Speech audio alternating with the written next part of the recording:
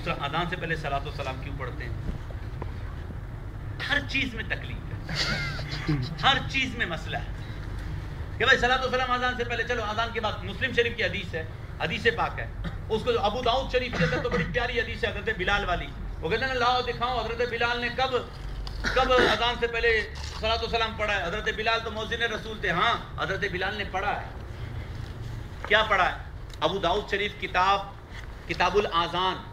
बाब अल आजान फ़ौकल मनारा, मीनारे के ऊपर आजान देने का चैप्टर। इसके अंदर हज़रत बिलाल एक दुआ मांगा करते थे।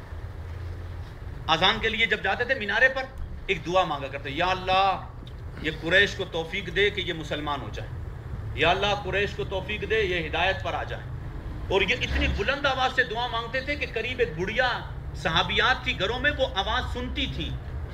और ये रिवायत अबू दाऊद शरीफ के अंदर मौजूद है। अच्छा ये जब दुआ खत्म कर लेते, उसके बाद अल्लाह अकबर, हज़रत बिलाल आजान देते। ये हज़रत बिलाल की सुन्नत है।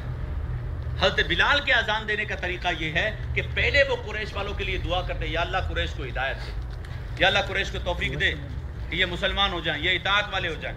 अच्छा चले, हम यही काम हज़रत बिलाल की सुन्नत पूरी करते। हम भी माइक खोलते हैं लाउड खोलते हैं पहले हम किस कौम के लिए दुआ करें?